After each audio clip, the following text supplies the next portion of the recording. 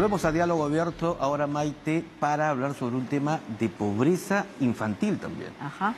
Vamos a hablar entonces con Ricardo, eh, perdón, Enrique de, la Mónica. Efectivamente, quien representa justamente a UNICEF y maneja toda la unidad de datos. A ver, datos abiertos. datos abiertos en diálogo abierto. Muchísimas gracias por, por recibirme esta noche. Un gusto estar con ustedes. Y estas cifras se dan en el marco justamente de la Semana de la Inclusión Social que se inicia mañana. Exactamente, empieza mañana, es la decimoprimera vez que se hace y es un orgullo para mí poder participar en esta reunión exactamente. Y hablamos de la pobreza que está también vinculada con poblaciones vulnerables como los niños. ¿Qué correlaciones hay, eh, que justamente son las que maneja UNICEF para poder establecer indicadores o eventualmente políticas públicas?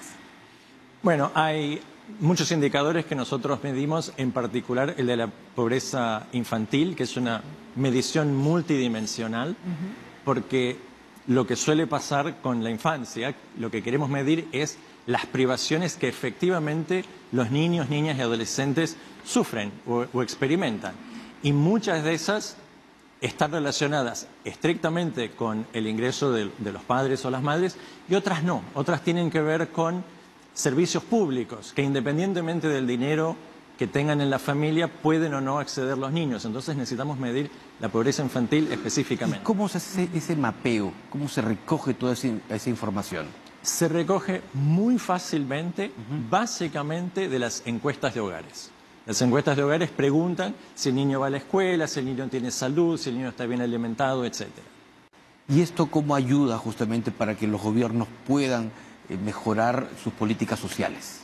Es fundamental poder medir la pobreza infantil para poder guiar en dónde los gobiernos tienen que poner más énfasis. Mm. Esto sobre todo tiene que ver en el ranqueo territorial de las distintas unidades geográficas y políticas para saber qué zonas están peor y qué zonas están mejor. Y ha dicho algo importante, ¿no? Que hay que ver también a los niños como parte de la demanda de ciudadanos que necesitan servicios públicos. Y no se los observa de esa manera, ¿no? Generalmente aparecen los adultos como eh, consumidores de servicios públicos, pero a los niños no. ¿Qué servicios, por ejemplo, básicos tienen que considerarse para la infancia? Bueno, hay, hay dos o tres que son fundamentales y que son diferentes de las necesidades que tienen los adultos. Por ejemplo, la educación. Es obviamente bueno que los adultos vayan a la universidad, por ejemplo, pero la necesidad de la educación de los niños a partir de los 3, 4 años durante todo su periodo de crecimiento es fundamental y diferente de la de los adultos. La otra es la salud. Todos sabemos que hay enfermedades de la niñez, entonces necesitamos todo el tratamiento preventivo, incluido, por ejemplo, las inmunizaciones, las vacunas, pero también tener los servicios médicos que puedan atender las necesidades de la infancia. ¿Y a priori podemos decir que la pobreza infantil ha crecido en el Perú? La verdad, no se lo puedo decir. Ojalá tuviera la primicia para poder darla esta noche con ustedes, pero no tenemos e-, esa medición todavía. Lo importante es que estamos trabajando para poder tenerla próximamente en el futuro. Claro, y, debe ser en todo caso un dato agregado, ¿no? De los datos que tenemos, por ejemplo, 27.5% de peruanos no cubre la canasta básica familiar, ¿no? Y ahí ya 5% de peruanos viven en pobreza extrema, sin hablar de los vulnerables. Y ahí también están los niños. Los niños están en todas esas tres categorías, lamentablemente. En general, en proporción mayor a la de los adultos. Ah. ¿Por qué? Porque sabemos desde el tiempo de la época de los romanos mm. que en los hogares más pobres suele haber más niños y niñas. La, famosa expresión del proletariado viene del latín, de la prole, exactamente. Entonces sabemos eso desde hace dos mil años. ¿Y esto por qué? ¿Hay un tema de control de natalidad y la pobreza? ¿Por qué más niños en hogares pobres? Hay varios, hay varios motivos que tienen que ver con cuestiones culturales, con cuestiones de, conocimiento. En tiempos antiguos tenía que ver con una especie de, de seguro. Si uno tenía más niños, más de ellos iban a sobrevivir. Es más difícil sobrevivir un niño de una familia pobre porque tiene menos recursos, pero si tienen muchos, más sobreviven y cuidarán a los adultos cuando los adultos sean ancianos. Esa era un poco la lógica en aquel momento. En este momento la situación es completamente distinta y tiene que ver, por ejemplo, con el acceso a, distintos servicios de, salud y educación. ¿Y qué tiempo tendremos ya mapeado todo este trabajo que desarrolla UNICEF y el MIDIS como parte de, este, de esta medición de la pobreza multidimensional? perdón, ¿me repite? ¿Y qué tiempo tendremos ya los resultados de todo este trabajo? ¿Qué tiempo? Sí. Eh, entiendo yo... Eh, y no conozco la situación del Perú porque estoy no, ¿en qué de tipo, visita. Digamos, todo este, este, trabajo que están haciendo, este barrido, esta encuesta. O sea, ¿en qué, en, qué, periodo? ¿En qué periodo hacen la medición? Se hace todo, o sea, se tiene que hacer todos los años. Todos los años se hacen las encuestas de hogares y todos los años se puede poner al día, por así decir, con el dato más reciente. Es una encuesta anual que sirve para evaluar lo que se va a hacer después. O sea, es sirve para evaluar lo que se va a hacer después, pero también sirve para evaluar qué es lo que está pasando hoy. O como un histórico. Justito ayer, exactamente. Exactamente, interesante.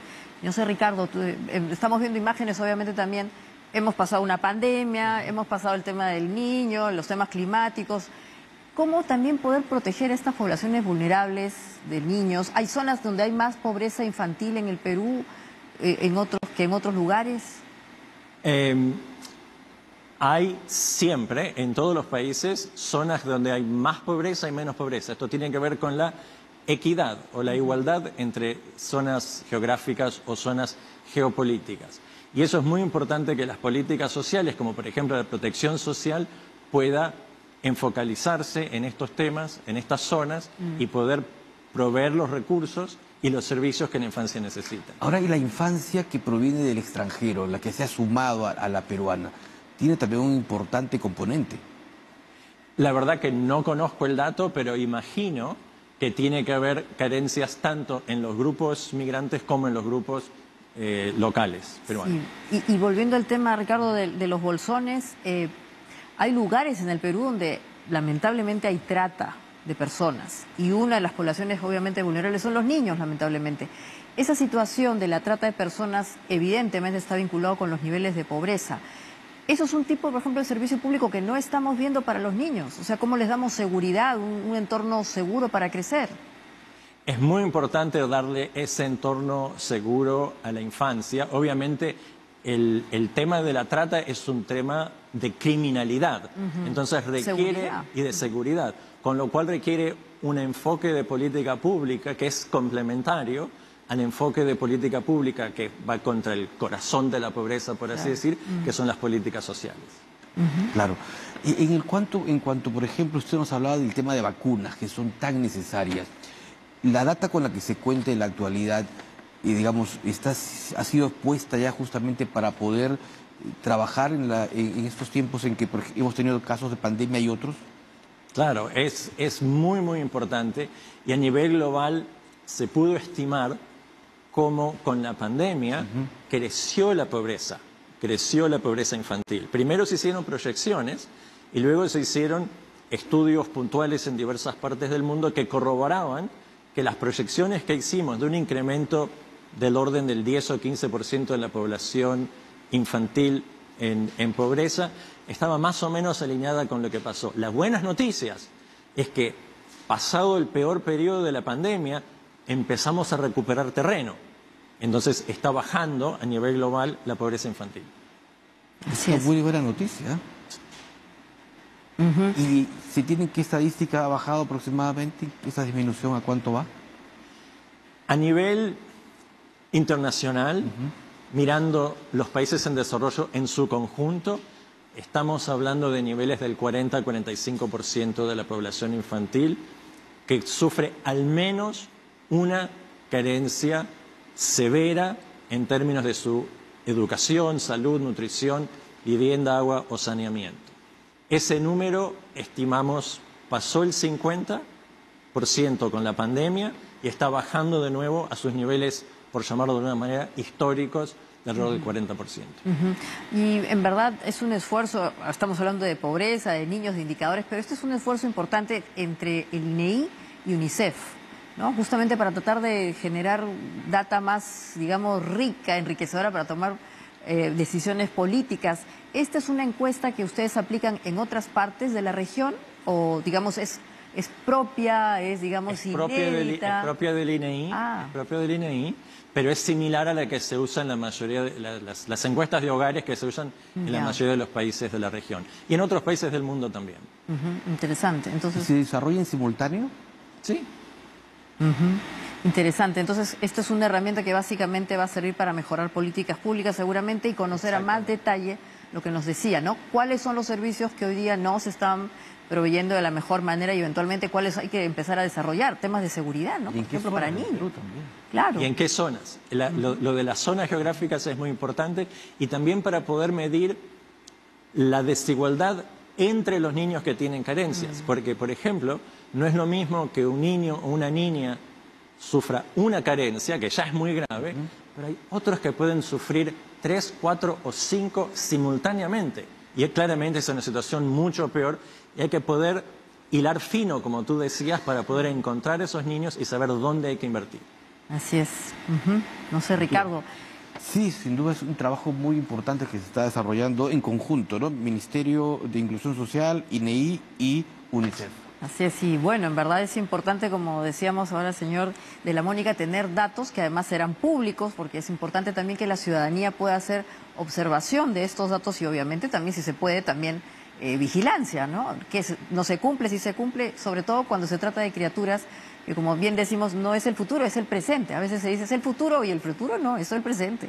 La infancia que tenemos que cuidar es la infancia que, es- que está en la infancia hoy. Así es. porque es- esa es la infancia que tiene los derechos que queremos justamente cuidar y, y velar. Tal cual. Muy bien. Y ahora nos vamos a ir con unas imágenes, ¿no? Así es, vamos a recordar imágenes de la provincia de Chimbote, justamente en la región Ancas. Ahí las tenemos. Y también ahí vemos también como consecuencia, Maite, de lo que ha significado la inclemencia del fenómeno del niño.